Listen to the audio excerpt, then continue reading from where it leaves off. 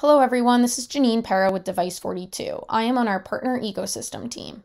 Thank you again for attending our technical advanced training session. We are very appreciative that you're here. For today, I'm going to be reviewing and doing an overview of the different components within our partner portal.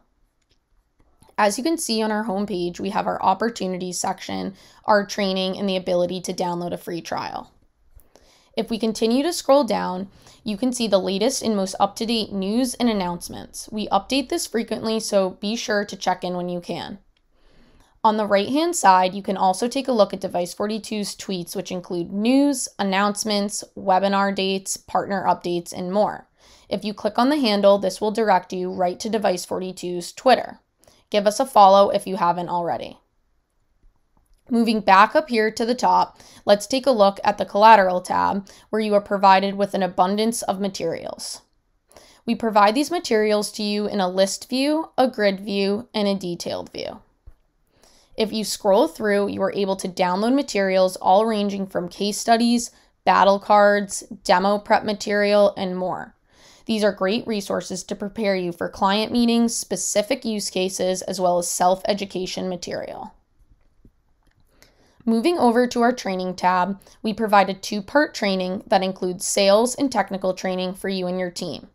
We highly encourage you to complete these to better understand our offerings and equip you to prepare for efficient conversations.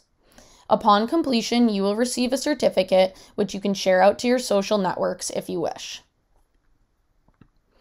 And to finish the Partner Portal overview, I'm going to navigate back to our homepage and walk through how to register an opportunity.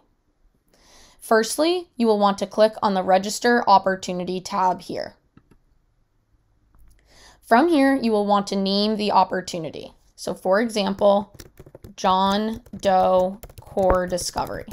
This is an internal opportunity name custom to you. From here, you'll want to come down and click and search for this corresponding account.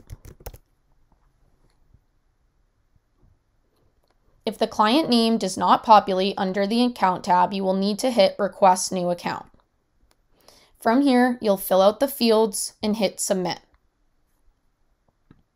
You'll want to continue on with the rest of the submission of the opportunity, filling out as many details as possible. Once you hit submit, this will come to our partner ecosystem team where we will approve the opportunity, assign the correct rep, and provide you with a quote as soon as possible. That is all I had to review for today. Again, thank you for your time and attendance. If you need to contact us regarding any client or portal questions, please do not hesitate to reach out. You can also visit our Contact Us page where you can find the appropriate contact to reach out to. Thank you very much and take care.